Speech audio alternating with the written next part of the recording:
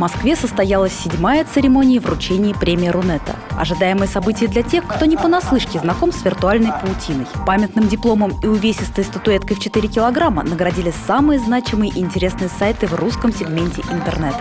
В этом году организаторы попытались изменить формат, сделав из официального мероприятия неформальное шоу. Ведущий и режиссер церемонии Александр Плющев поставил условие – чиновники не должны появляться на премии Рунета при галстуке. Провинившиеся сдавали аксессуар самому Плющеву, и галстуков на его шее накопилось немало. Премии вручали интернет-проектам в семи номинациях. Государство и общество, культура и массовые коммуникации, наука и образование, экономика и бизнес, здоровье и отдых, технологии и инновации, учительский интернет-проект. Математический сайт Softline.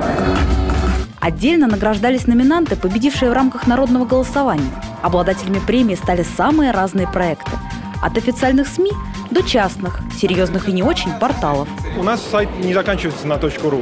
А, Мы заканчиваемся на ком, но при этом мы абсолютно считаем себя частью Рунета. Одно дело себя считать самими частью Рунета, когда тебя признают частью Рунета, и когда тебя еще и награждают, это просто совершенно действительно... а, ну, я очень, я очень доволен.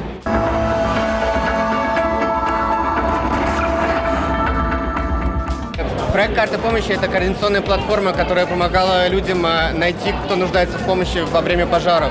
И, соответственно, э, благодаря существованию этой платформы, оказание помощи среди всех э, тех волонтеров и добровольцев, которые были в интернете, было более эффективным.